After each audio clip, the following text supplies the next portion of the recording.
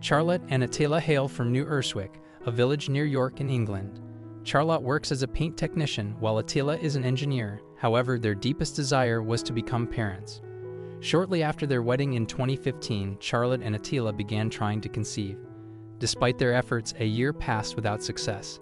However, in April 2016, Charlotte received the best early 21st birthday present when she discovered she was finally pregnant. Initially, Charlotte's pregnancy seemed typical.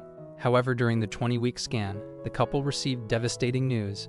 Doctors revealed that their baby girl's brain was significantly underdeveloped, and she also had a hypoplastic aorta, a heart defect affecting blood flow. Further tests unveiled that the unborn baby had unbalanced chromosome translocation, a genetic condition where two chromosomes swap segments, leading to missing or extra genes. The severity of the condition depends on which chromosomes are involved.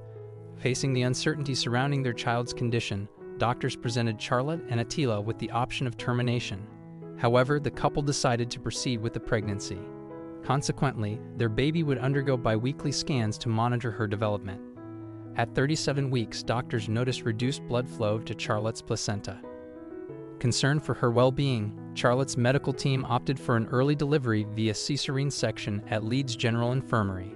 On December 13, 2016, Charlotte and Attila joyfully welcomed their first child, a daughter named Evelyn, weighing 5 pounds and 5 ounces. However, the couple had to wait before they could hold their newborn. Evelyn was immediately taken to a ventilator upon birth, and it took seven hours before Charlotte and Attila could see her. They had to wait three days for their first cherished cuddle with their daughter, as she remained under the care of the Neonatal Intensive Care Unit, NICU. Subsequent scans revealed additional challenges for Evelyn, including lung complications and airway issues, compounding her already underdeveloped brain. These complexities rendered her unable to breathe independently, precluding the possibility of life saving heart surgery. Understandably, this was a devastating realization for her parents.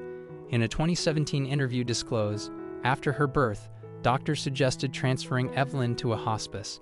However, I couldn't accept it at first. I wasn't ready to acknowledge the severity of the situation.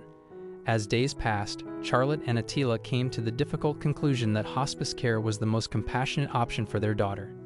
It was an agonizing decision for us as parents, but we knew that keeping her in the hospital would be selfish, Charlotte explained. After a valiant four week struggle, Evelyn peacefully passed away in January 2017 at Martin House Hospice in Wetherby. Prior to her passing, her parents had the opportunity to embrace her tenderly for the first time.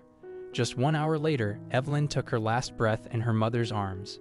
Although their beloved daughter had departed, Charlotte and Attila opted to remain at the hospice for an additional 12 days. During this time, Evelyn's body was preserved using a refrigerated cuddle cot, allowing her parents to cherish precious moments before bidding their final farewells. During these cherished days, Charlotte and Attila embraced their daughter, taking her for strolls in the hospice garden. Reflecting later, Charlotte shared that this time together was profoundly comforting. Being able to spend time with our baby really helped us emotionally, she explained.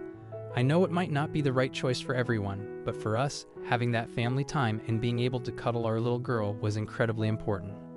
Charlotte emphasized the significance of these moments, stating, having the opportunity to spend time with her made a world of difference.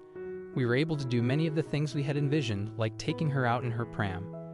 Following their 12 day stay at the hospice, Charlotte and Attila brought Evelyn home for four days before her funeral.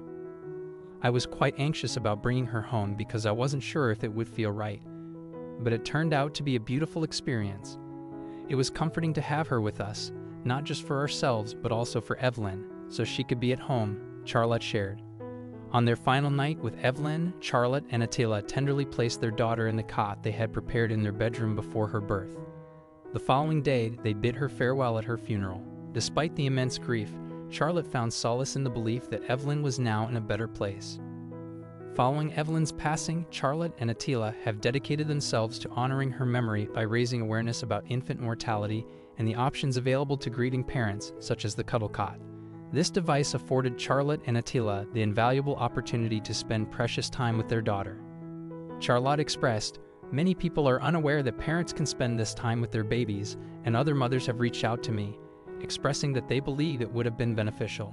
Therefore, I am determined to raise awareness.